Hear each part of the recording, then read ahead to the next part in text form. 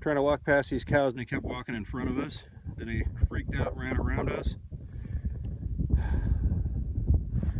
Now they're all running down into the valley.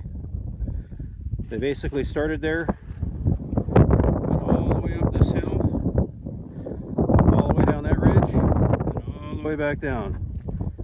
They're still running. And we started at the top of that hill, dead center of the screen. Cows are stupid.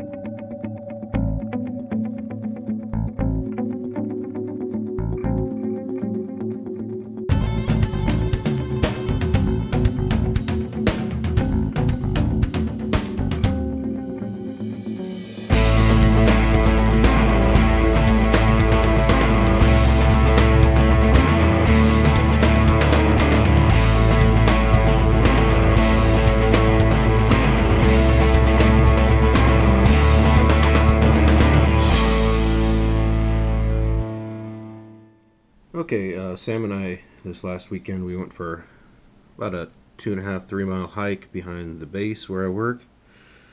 Um, zone BLM land out in the middle of nowhere. Looking at a couple of uh, old timer diggings. But uh, of course, we brought the detectors, and this is what we found. Um, found this little brass uh, piece of ring off of a um, piece of artillery where that go through the rifling grooves. Um, 50 cal AP round, 50 cal AP round, three little bullets. I don't know if they're AP or not. I have to get a uh, magnet. A very old lead ball ammo. Um, old for me, not old for you guys on the East Coast, but it is whitened, so it's been in the ground for a while. It's a 50 cal tracer round.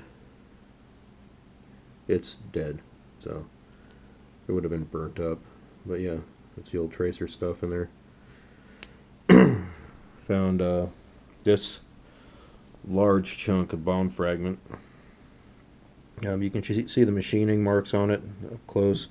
Can't in this light, but it's been machined. This is an old bomb or a piece of artillery, which think of more artillery because this is a base. This is all brass. This is a base off of a piece of artillery. So that's what I'm thinking. And I think this might be the nose off piece artillery. It's all aluminum.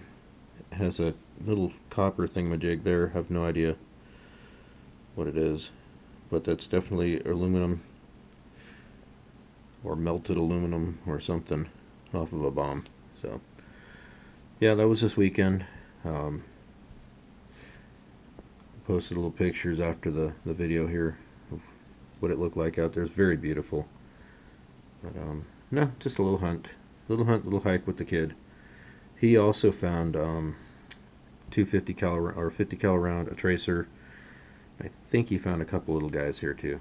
So yeah, that's all we had. So thanks for watching. Y'all have a great day. I'll see you at the next video. Good luck out there and happy hunting. Oops, where's my button?